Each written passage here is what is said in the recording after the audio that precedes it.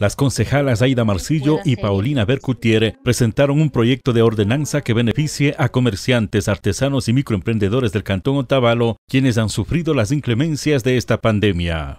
Mediante rueda de prensa modalidad virtual, expusieron los detalles. Nuestra propuesta de ordenanza tiene dos, eh, dos aspectos fundamentales, la una de, de, lo que es la exoneración de pagos eh, de los diferentes locales, cubículos de arrendamiento y la segunda parte que corresponde es la ampliación de plazos. Exonerar cobros municipales a artesanos y comerciantes de mercados, plazas y más sitios de dominio de la Municipalidad de Otavalo es parte de esta propuesta habla de la, una condonación del 100% del pago para el uso de locales, cubículos y puestos que ocupan los comerciales adjudicados en plazas, canchones, mercados del cantón, así como los puestos en el terminal terrestre y todos los espacios eh, de bienes y espacios públicos que son administrados por el GAT.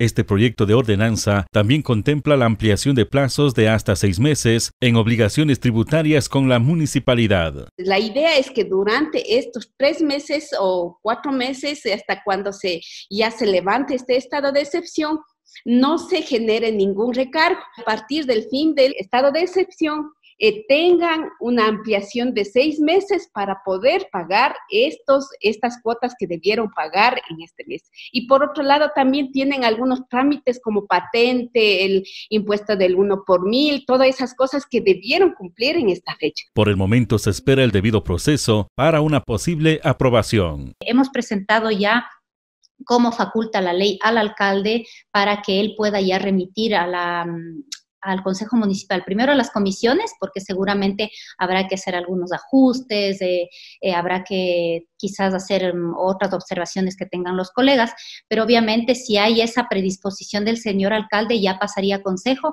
y como establece la ley tendríamos dos debates y para ello pues eh, tendríamos que tener por lo menos seis votos para que esta propuesta de ordenanza pueda ser ya efectivizada. Informó Bonilla en TVN Canal.